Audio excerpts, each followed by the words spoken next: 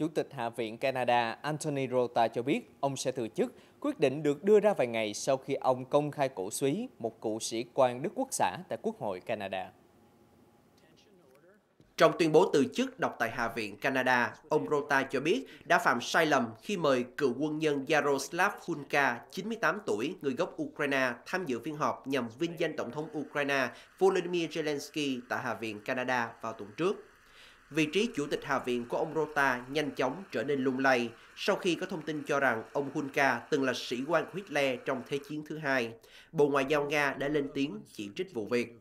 Chủ tịch Quốc hội Canada đã gửi lời xin lỗi tới cộng đồng người Do Thái ở nước này và trên toàn thế giới.